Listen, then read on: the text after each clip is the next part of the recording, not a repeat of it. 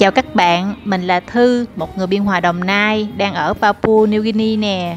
Video này ghi lại hình ảnh mình đang đi chợ KVN ở tỉnh KVN nước Papua New Guinea.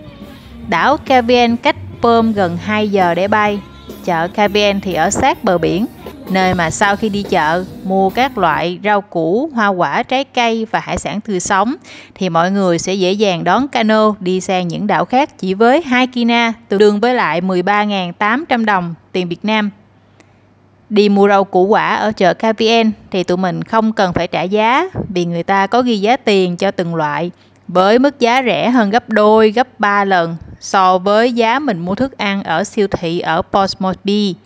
Cho nên tụi mình cũng đã tranh thủ mua một ít mang về.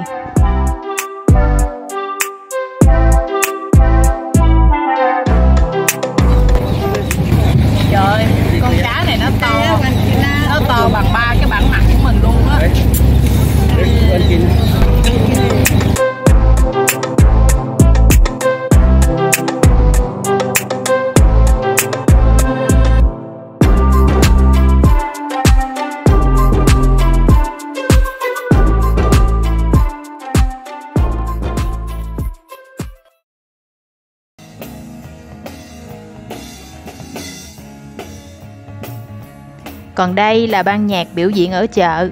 Các cô chú nhạc công thì chơi nhạc rất là tài năng. Trong buổi biểu diễn này, họ không mong muốn nhận tiền nhưng sẽ mong nhận được rau củ và trái cây để tặng cho hội từ thiện.